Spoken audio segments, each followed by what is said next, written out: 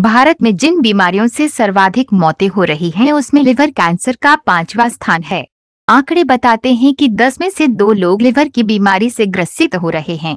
Liver cancer को hepatocellular carcinoma कहा जाता है। 40 के बाद अगर जीवन शैली में सेहत की चिंता करते हुए बदलाव नहीं किया जाता है तो लीवर की बीमारी 60 के बाद गंभीर हो जाती है। क्रॉनिक हेपाटाइटिस सी और जॉन्डिस में लिवर कैंसर होने का खतरा ज़्यादा रहता है। प्रारंभिक अवस्था में ऐसे कोई खास लक्षण नहीं है जिससे लिवर कैंसर की पहचान की जा सके।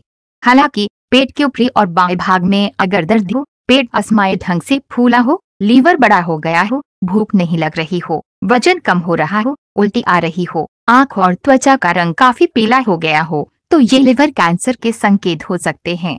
लीवर कैंसर जाँच में पता चल जाने के बाद अगर वो प्रारंभिक अवस्था में है तो घरेलू उपचार से उसे नियंत्रित किया जा सकता है। मगर अगर मर्ज पुरानी है तो घरेलू उपचार से कुछ खास फ़र्क नहीं पड़ता है। परहेज और पथ्य से ही लिवर को सेहतमंद बनाया जाता है। डाइट या खान पान ही इसके घरेलू उपचार हैं।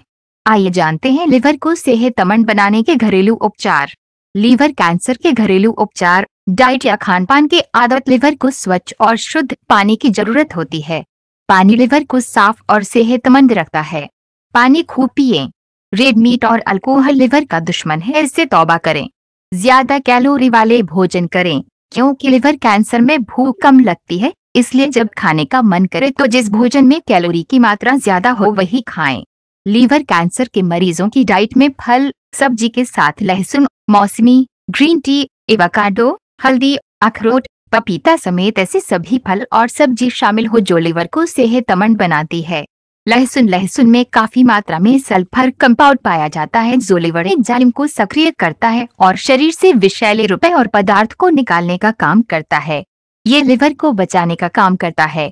रोज सुबह खाली पेट पानी के साथ अगर लहसुन खाया जाए तो ये लिवर के लिए काफ़ी सेहतमंद होता है। मौसमी मौसमी में काफ़ी मात्रा में विटामिन सी पाया जाता है। ये लिवर को साफ़ करता है। इसमें लिवर को साफ़ करने वाले एंजाइम होते हैं, जो लीवर को विषैले पदार्थ से सुरक्षा करते हैं।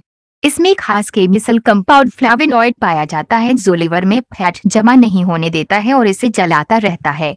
ग्रीन टी ग्रीन टी में खास एंटीऑक्सीडेंट कैटेचिन्स पाया जाता है, जो लिवर में फैट जमा नहीं होने देता है और इससे लिवर सही ढंग से काम करता रहता है।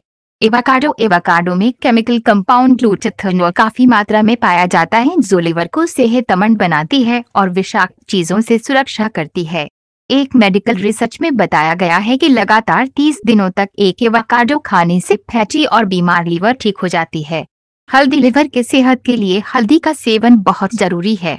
यह न सिर्फ़ लिवर की विषाक्त चीज़ों से सुरक्षा करती है, बल्कि लिवर की नष्ट हुई कोशिकाओं का निर्माण भी करती है। काली तुलसी काली तुलसी के सेवन से लिवर कैंसर की वृद्धि रुक जाती है। आयुर्वेद में लिवर कैंसर की चिकित्सा में काली तुलसी की विशेष चर्चा की गई है। काली तुलसी के तीस पत्तों को दही में मतकर बनाए गए मठे के साथ पी जाएँ। सुबह शाम इसे आजमाने से बेहतर परिणाम आते हैं। और भी है उपाय, दो संतरे का रुपए खाली पेट लेने से लिवर सुरक्षित रहता है। एक बैंगन कच्चा खाने से लिवर की बीमारियाँ ठीक होती है। डाब, नारियल का पानी पिए। जौ का पानी पिए। छाछ का नियमित सेवन करें। अंकुरित चना सुबह को नाश्ते में खाएँ। अंकुरित दाना मेथी का रुपए पिए। गाजर, टमाटर का सेवन नियमित करें।